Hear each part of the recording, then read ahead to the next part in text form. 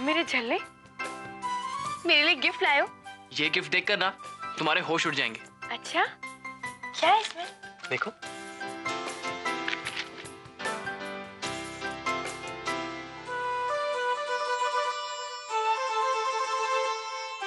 Colgate dental cream हाँ it's amazing ना? What amazing मुझे तो लगा था कि तुम मेरे लिए कोई बहुत अच्छा सा गिफ्ट लेकर आओगे। गोल्ड डायमंड ज्वेलरी कुछ ऐसा गिफ्ट लाओगे? अरे मोना ये गिफ्ट उससे भी बेहतर है। जितना कोलगेट उतना सोना।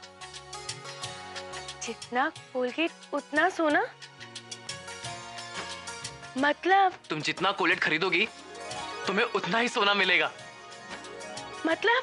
ये कोलगेट डेंटल क्रीम के 200 ग्राम पैकेट से हमें 200 ग्राम सोना मिल सकता है? हाँ। रब्बा। ये तो बहुत अच्छी बात है। चल तुम बड़े इंटेलिजेंट हो बाय गॉड ले लड्डू ले। एक पूरा लड्डू मेरे लिए? हाँ क्यों? तुझे पसंद नहीं है क्या? बहुत पसंद है। लेकिन प्रसाद में कोई पूरा लड्डू देता है क्या? मेरी अंबाजी देती है इसलिए मैं भी देती हूँ। एक और? ये भी कोई पूछने की बात है? भाभी ये आप क्या कर रही हो? केत की मासी ने देख लिया ना तो बहुत नाराज़ हो जाएँगी। नाराज़ तब होंगी ना जब वो देखेंगी। उन्हें पता ही नहीं चलेगा तो क्या खाक नाराज़ होंगी? क्यों किंजल? नहीं पता चलेगा मैं फटाफट खा लूँगी। देख तू भी पूरा खा ले। मोना धीमी गति के समाचार की तरह काम मत कर जल्दी जल्दी कर। और कितनी देर लगाएगी प्रसाद बांटने में हम्म? हो गया। रेवा दे रेवा दे। सेजल को दे दे, लड्डू की थाल। कहा जा रही है? दिया, लेके जा बाहर। हाँ।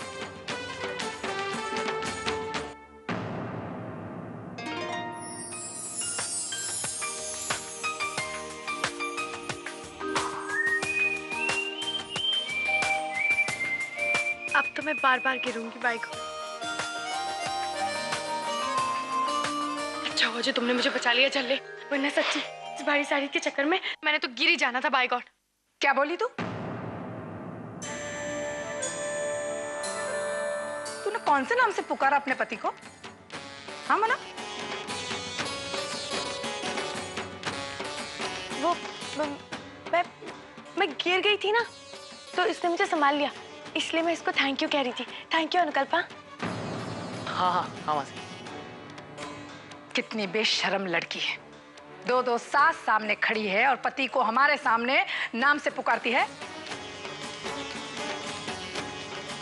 खबरदार छे फिर कभी भी हमारे सामने तूने इसे अनुकल्प कहा है तो। ठीक छे। और हमारे पीठ पीछे भी वो नाम तो मत ही बोलना। जो अभी तूने बोला वो क्या बोली तू? झल्ला? ये क्या है ये झल्ला? क्या मतलब क्या है? इसका झल्ला खबरदार है? ये झल्ला और ऐसा सब बोला है तो।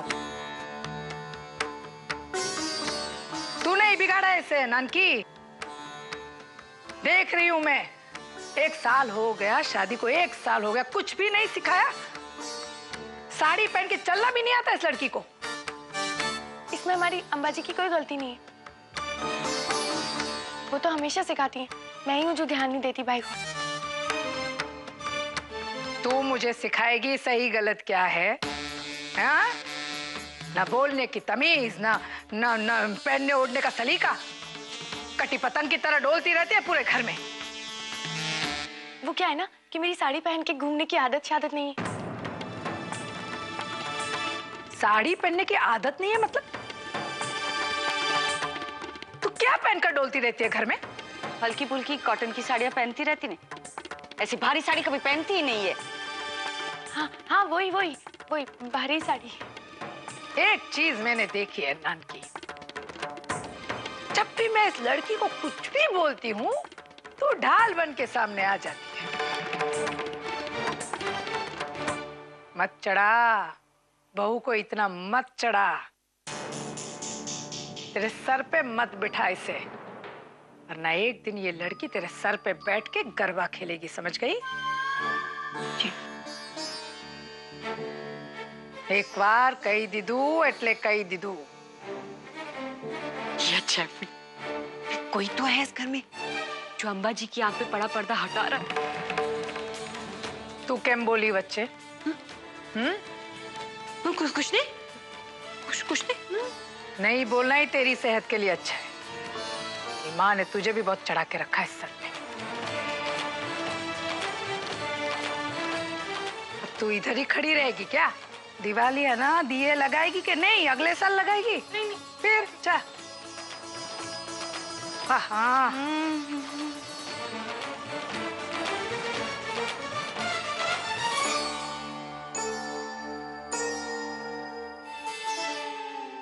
सारे दिए तो जम गए।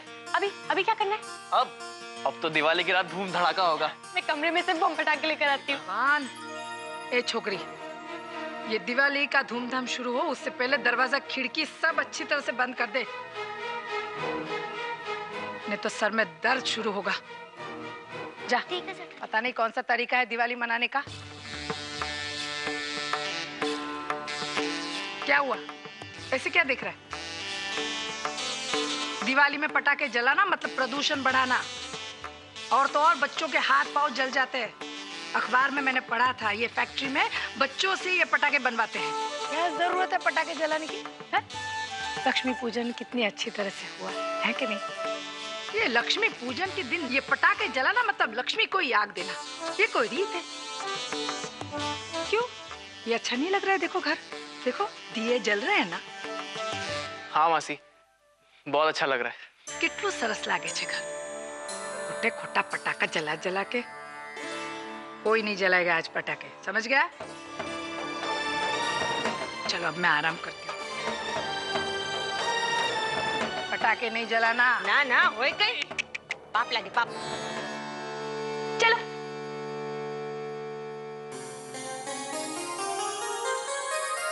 मत करो वो मत करो ऐसे मत करो पैसे मत करो। दिवाली पे पटाखे मत जलाओ। हद करती है तुम्हारी मासी जी। ये तो ना थानेदार से भी बढ़ के।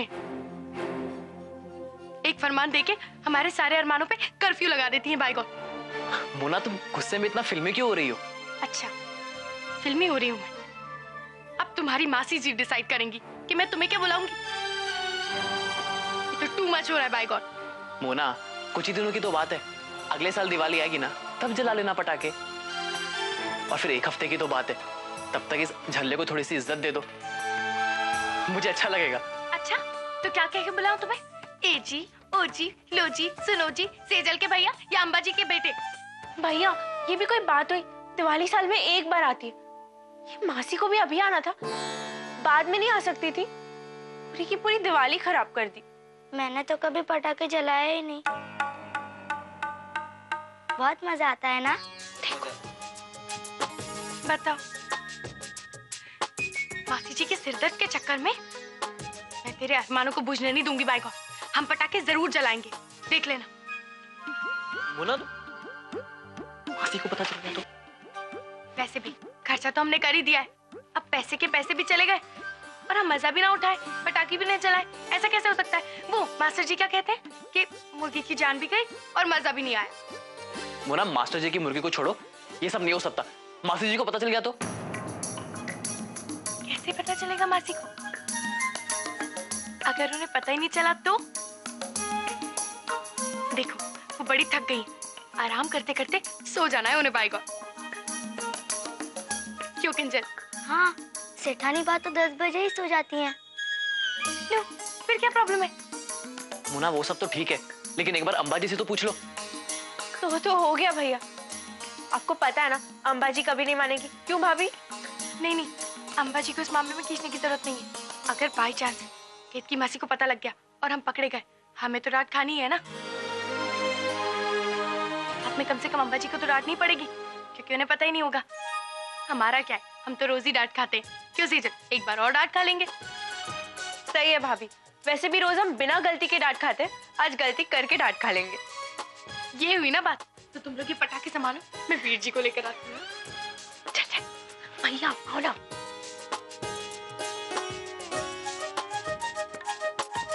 क्या हुआ मोना? बस अब कुछ नहीं। अरे गली में ना हम किसी कोने में पटाखे शटाखे चला लेंगे। और वहीं मम्मी जी और स्वीटी दीदी को भी बुला लेंगे गॉड मोना पकड़े गए तो बेकार में तमाशा खड़ा हो जाएगा। हाँ एकदम सही कह रही। नहीं पकड़े जाएँगे।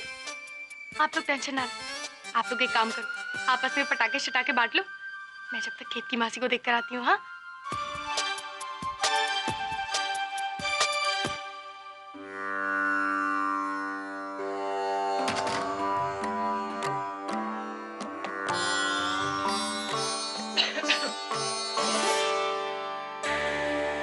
क्या है? पता नहीं है माला जपते समय बीच में नहीं टोका करते हम्म? वो मैं पूछने आई थी कि आपको कुछ चाहिए तो नहीं ना? थोड़ी सी शांति थोड़ा सा आराम। मिलेगा? हाँ। और सुन नानकी को बोल मैं उसे बुला रही हूँ। और दरवाज़ा जाते समय बंद करना। धीरे से। शोरगुल पसंद नहीं है मुझे। वाह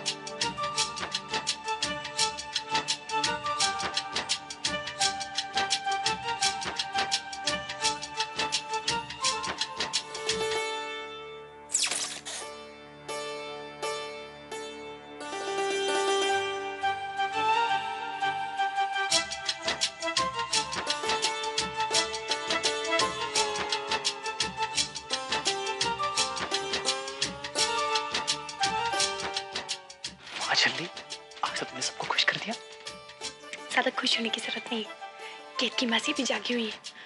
वो अम्बा जी को बुला रही है। क्या? ना डरने की ज़रूरत नहीं है जल्दी। तुम लोग नीचे जाओ मैं अम्बा जी को बुला के आती हूँ। ठीक है। ठीक है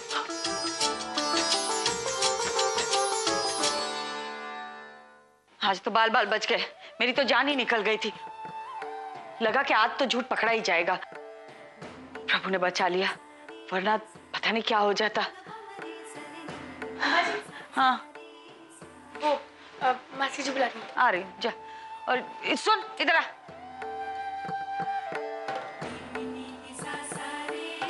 मैंने तुझसे कहा था ना कि तेरे मम्मी डैडी को बोलना कि कुछ दिन के लिए यहाँ नहीं आए। तूने कहा क्यों नहीं? क्यों आ गए? ऐसी लापरवाही करेगी तो कैसे चलेगा? बाय गॉड अम्बा जी मैंने स्वीटी दीदी से खुद जाके बोला था कि किसी को यहाँ पे आने ना दे। पर पता नहीं वो लोग कैसे आ गए। और ये सबके सामने तूने फिर से अनुकल्प को झल्ला कहा। पहले भी मैंने कहा था ना तुझसे कि सबके सामने अपने पति का मज़ाक नहीं करते। फिर? तू कब समझेगी हाँ? अरे, हम धारी तलवार पर चल रहे एक गलती हुई कि सब खत्म हो गया। और अब अगर तुझसे गलती हुई ना तो मैं तुझे नहीं बचाऊँगी, समझी? बस, हर बात में सर हिला देती है ये। करती है वही जो करना होता है। हम्म। अब सुन। वो खिड़कियाँ दरवाजे बंद किए? बेना को फटाके की आवाज़ बिल्कुल पसंद नहीं। हम्म, जा। हाँ। ये देखो।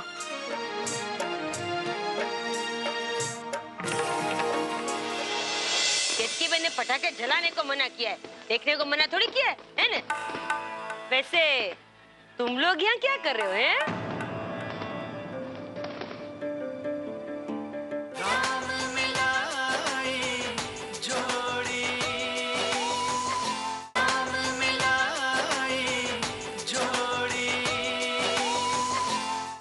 मोना बेटा पटाखों के बारे में अम्बा जी को भी नहीं पता चलना चाहिए वरना बहुत डांट पड़ेगी भाई।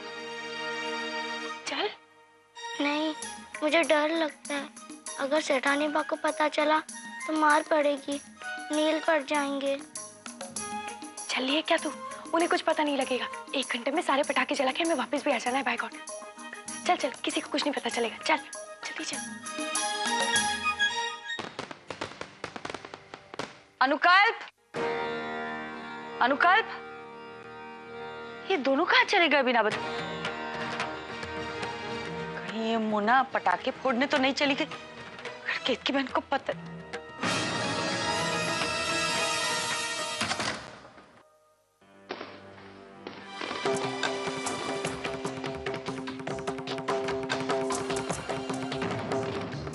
को लेकर कहा चली गई मोना?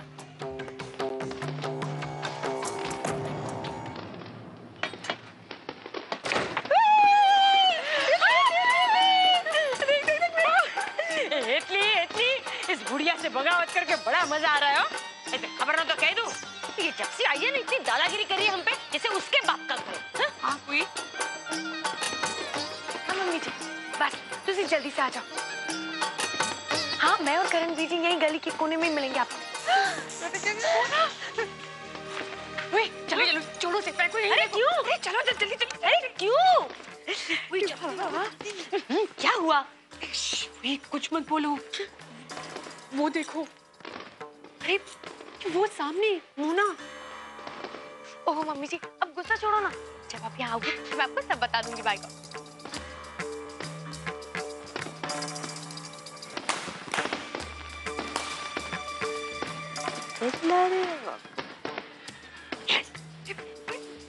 ओहो मोना रानी बड़ी जम के दिवाली मना रही है हैं?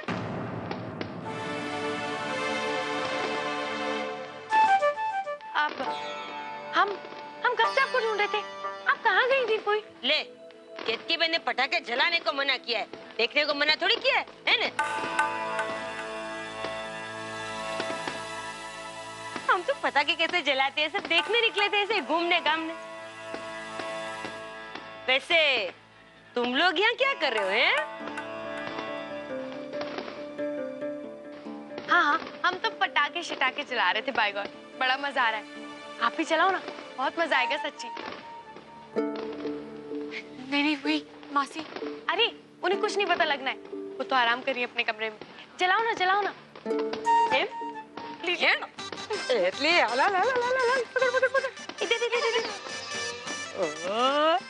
ले। ले ले ले ले ले मज़ा आ रहा है ना? ये लो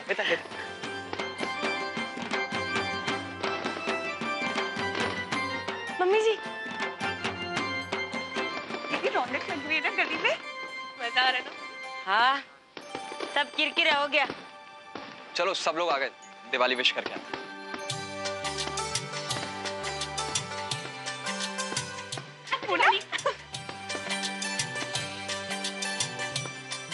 Happy Diwali happy Diwali Veer ji. Happy Diwali भाभी। तुम्हें भी। Thank you happy Diwali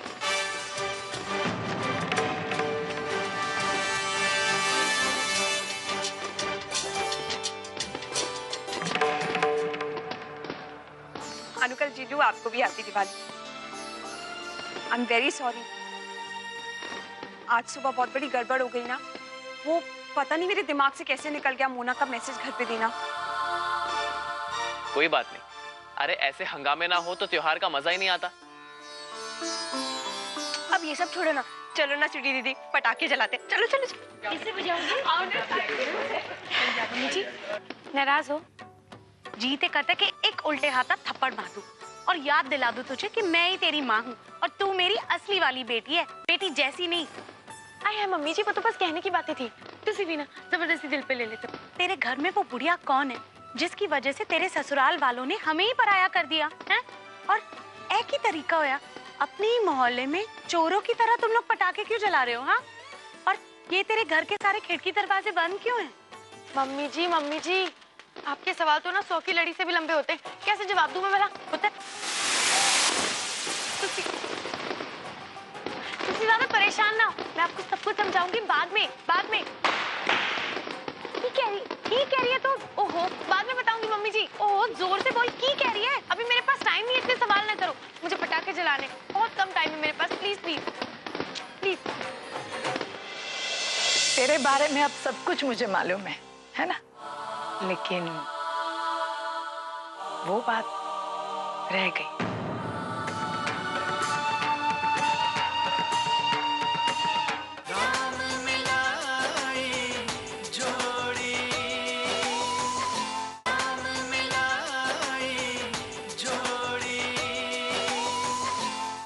ये मोना का फ़ोन भी बंद आ रहा है।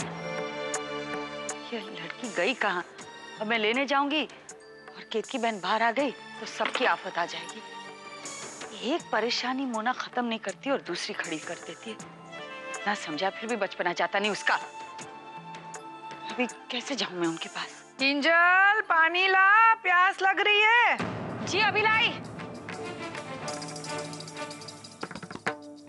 कहा मर गई है लड़की? ए किंजल सु करे सु तू। तू क्यों आई? किंजल कहा है? वो वो आ रही थी पर मैं ऊपर ही आ रही थी ना तो मैंने सु... ले गला सूख रहा है मेरा। ये दिल्ली का मौसम है क्या है, हैं? आश आपने मुझे बुलाया। बैठ। बातें करनी है देखना की अपनी सब बातें हो गई। तेरे बारे में अब सब कुछ मुझे मालूम है। है ना? लेकिन वो बात रह गई है ना?